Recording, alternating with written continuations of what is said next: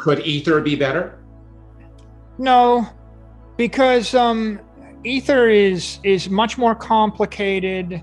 It's much less mature. It is uh, it is not um, it's not a trillion dollar monetary network that's purpose built to be a store of value. Ether is is attempted to be many other things, including the world computer and a smart contract platform, and uh, it's going through a very rapid evolution uh, technical cycle. So as it goes from Ether 1.0 to Ether 2.0, the entire basis of the network is going to change from proof of work to proof of stake that introduces a whole host of questions. And so it'll be three to five years, probably five years after the Ether 2.0 upgrade before you can evaluate what it is. If you're uh, a hard, a hardcore institutional investor, it's a different thing. I, th- I think that if you want to characterize uh, crypto universe, you have one thing, Bitcoin, which is the dominant trillion dollar crypto asset network. It was, it's in essence, if God created gold in cyberspace, he would have created Bitcoin. It's uh, it's gold in cyberspace, but it's it's got none of the liabilities and defects of gold. It's uh, it's uh, it's an encrypted block of sunlight. You can move it at the speed of light. You can program it with a million transactions a second. You can think you can use it as the base layer for the 21st century economy. It's completely transparent.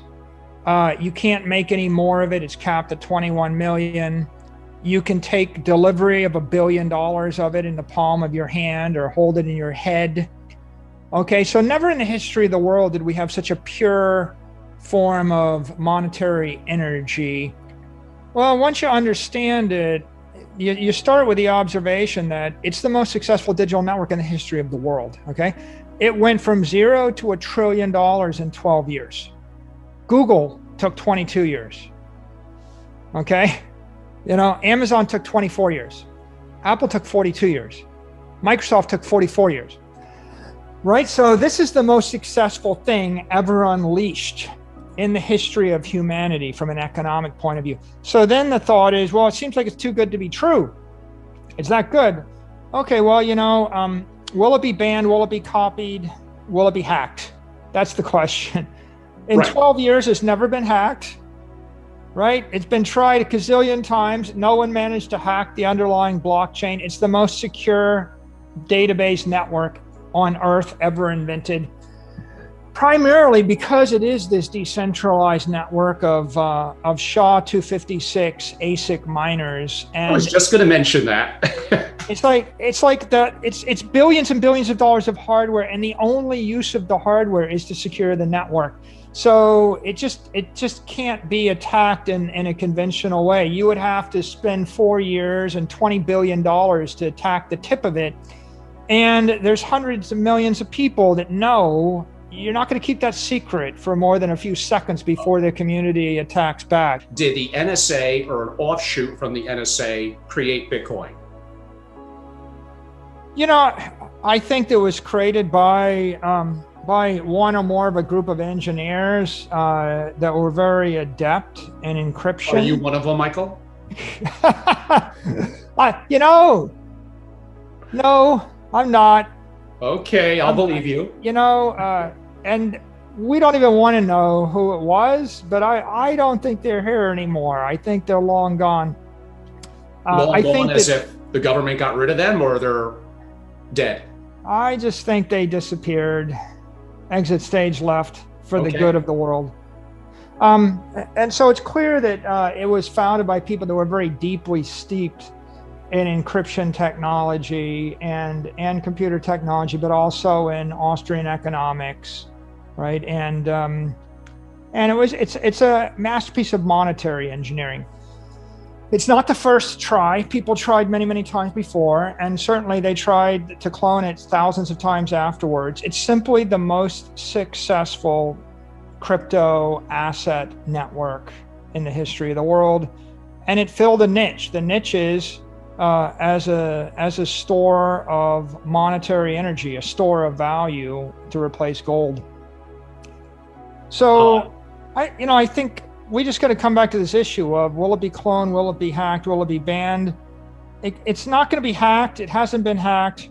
Will it be cloned? People cloned it a thousands of times and they all failed because once every once a trillion dollars worth of money decides that it's going to put all of its money in this bank in cyberspace, they don't need the number two. It's like it's like there's a Facebook, there's a Google, there's an there's an Apple. It's a path dependent thing.